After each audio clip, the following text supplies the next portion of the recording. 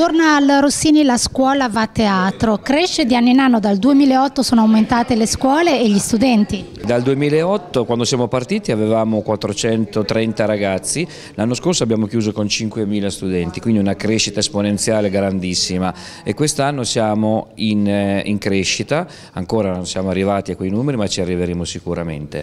E quello che posso dire di quest'anno è che eh, abbiamo anche per quest'anno 50 scuole che partecipano. E la, la caratteristica è che queste scuole vengono un po' da, da, tutto il centro Italia, quindi andiamo da Arezzo, andiamo a Macerata, Ancona, Forlì e, e tutta la provincia di Pesaro.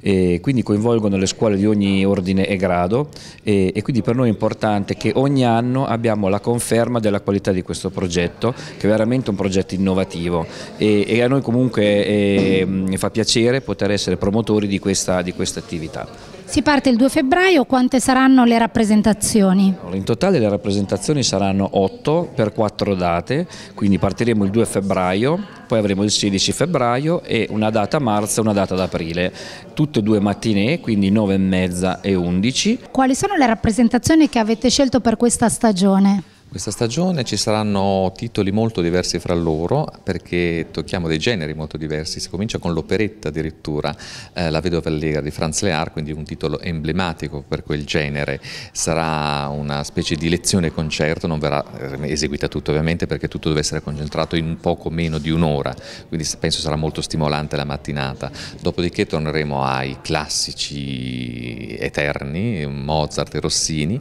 avremo un concerto per pianoforte pianoforte orchestra di Mozart, credo il 488, suonato dalla nipote di Alberto Z, da Valentina Kaufmann, quindi è un omaggio che facciamo ad Alberto Z perché poi la sera verrà replicato questo concerto. E in più ci sarà anche il grandissimo Nicola Laimo, il baritono siciliano, ma pesarese ormai a tutti gli effetti, che è anche nostro amico da tanti anni, col quale abbiamo collaborato tantissimo, e eh, si esibirà in eh, repertorio rossiniano, soprattutto omaggiando i ruoli, grandi ruoli buffi, che sono il suo pane praticamente.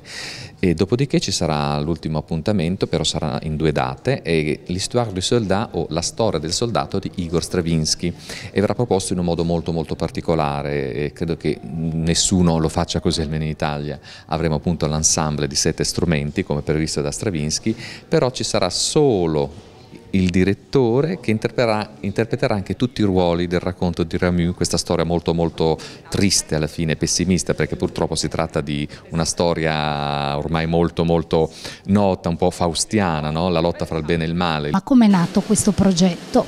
Sì, il progetto è nato nel 2008 e per volontà appunto dell'Orchestra Sinfonica Rossini, in modo particolare eh, di Saul Salucci che è il presidente e mia e volevamo eh, mettere in pratica quella che è stata sempre una delle nostre eh, mission, se la vogliamo definire così, ovvero quella di divulgare la musica classica, ma non solo, perché noi eseguiamo tutti i generi di musica, eh, al nuovo pubblico e il nuovo pubblico per eccellenza sono gli studenti.